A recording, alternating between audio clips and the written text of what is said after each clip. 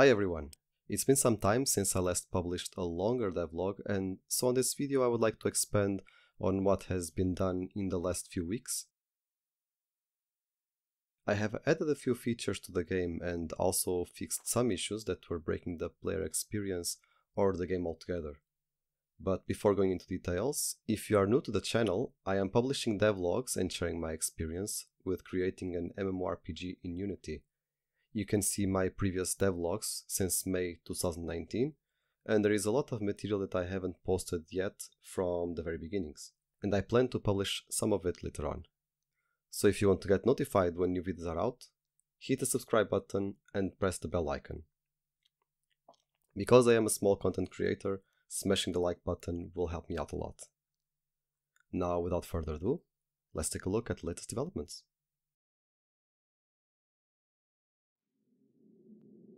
Kicking it off, I did a pass on the combat system. One thing that was bothering me in the combat system when I was simulating higher latencies was that the spells were not seamlessly firing one after the other. In this case it was due to the fact that the client was also doing extra validations, and so if the spell was on cooldown on the client, it didn't allow sending the cast command, even if in the server in reality it was already ready to cast. I removed that check, which uh, means now users can spam the server, but even still this means you still have to spam the keyboard to get the spells chained more rapidly.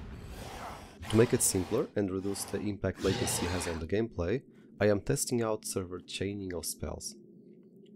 So what happens now is that if you send a spell while another is being cast, it is stored on the server.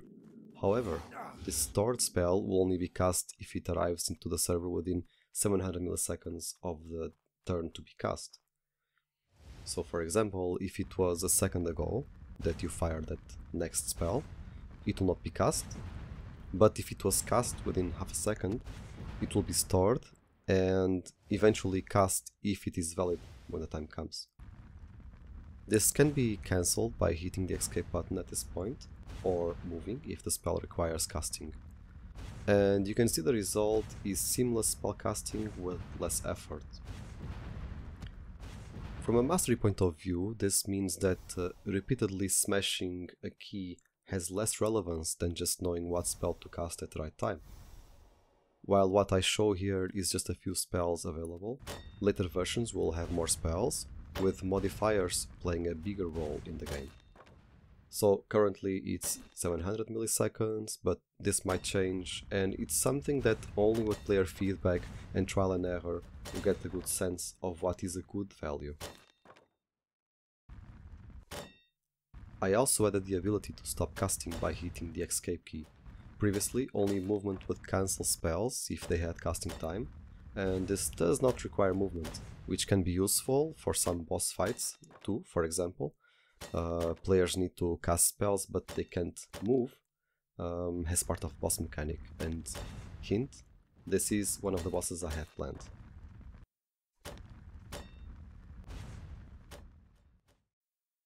Camera Another improvement is the ability to zoom in and away from the character.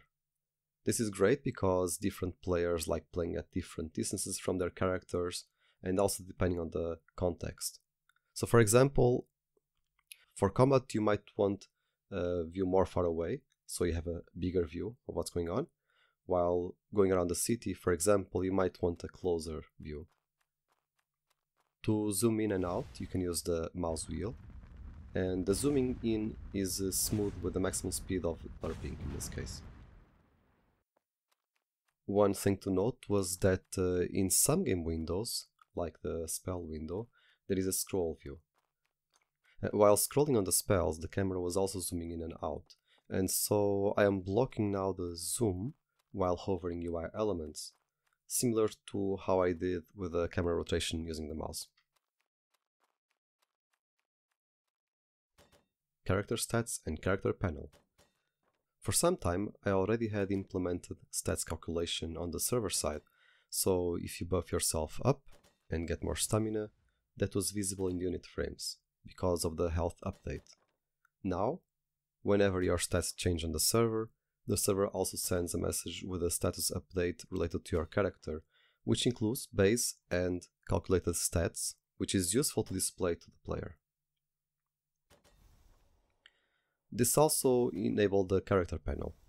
The window that was uh, pre-built in this UI asset has a few things, among which is a list of stats. So I add the behavior to set and update this list of stats. And for example, if I cast this buff, which grants me stamina, you can see that my stamina changes along with the health in my unit frame. These stats in the character panel are only updated when the server sends the stats update to reduce load on the UI. I also added a rendering of the character, so behind the scenes what I do is to make a duplicate of the model I am inspecting, keep it in the idle animation and change its layer. This is important, so it renders only the character and nothing else. I then attach a camera to it, and it is a simple rendering for now. It is not possible to rotate or zoom in at the moment, but that will be added uh, sometime in the future. And the result, I think already, is very satisfying and does the job. You might also notice there are uh, tabs for reputations and titles. Currently, these are only placeholders, and don't represent anything in the game state. There will be reputations and titles, but I have not implemented them yet. To also test the combat, I added some training dummies. To do this, I added three new flags, Dummy, Immortal, and Self-Healing. Self-Healing and Immortal don't actually work right now, they are just flags that exist in the editor, and uh, they are there so as soon as I implement this in the system it's already already kick in in all the characters that have those flags set. It also has a huge health pool since it doesn't really uh, self-heal or is immortal. Now, to give a bit more liveliness to the scene, I wanted to have some NPCs training in the training dummies. Now, to do this, I used what I already had. In this case, I had a training dummies there, and then I used factions. So the guards are have a specific faction associated to them, and I added a faction to the training dummies, and in this case I made the guards hate the training dummies.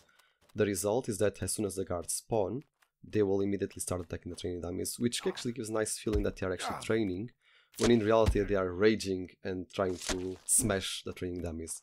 Which is pretty cool, so with a little effort I could actually use things, uh, features I already had, and uh, not actually have to fake uh, training. They're actually hitting the dummies. Later on, I might change this so to have a, a list of actions that they will perform, and uh, as opposed to actually calculating combat and uh, attacks and hits and all that stuff.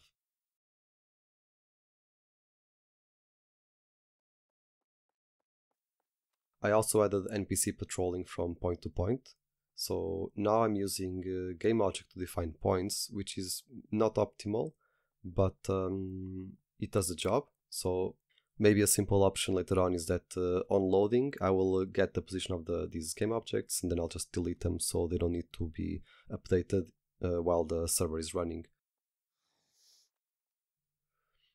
There were also a few more fixes done. For example, character selection uh, for AoE on the ground, so the projection was broken and I had to fix that.